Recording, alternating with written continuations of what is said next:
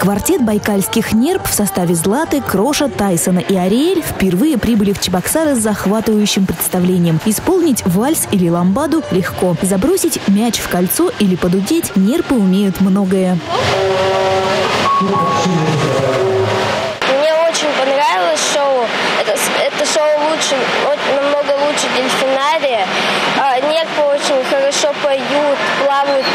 Водой и очень хорошо рисуют.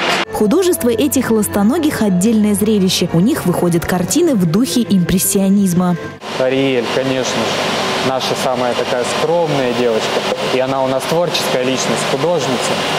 Видели, да? Да, она у нас рисует потрясающие картины. И все они у нас удивительные и чудесные. То есть они очень хорошо обучаются, они очень умные, примерно как собаки, ну, на уровне овчарок да даже на уровне четырехлетних детей. И ведут себя они на самом деле так же, как и четырехлетние дети.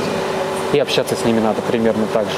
Поэтому трюков, которые показывают байкальские нерпы, не счесть. Милые усатые мордашки, то и дело выскакивающие из-под воды, не могут оставить равнодушными ни детей, ни взрослых.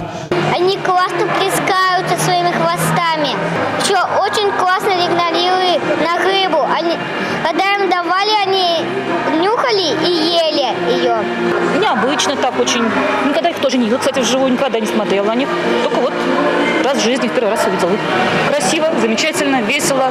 Артисты водного шоу родом с Байкала. Нерпы – один из трех видов пресноводных тюленей. Творческий квартет объездил более 50 городов России и теперь приехал радовать и удивлять зрителей Чувашии. Нерпинарий расположился на нижней парковке торгового центра «Мегамол». Представления показывают пять раз в неделю. Понедельник и вторник у артистов Нерпят – выходной. На гастролях в Чувашии они до 26 августа.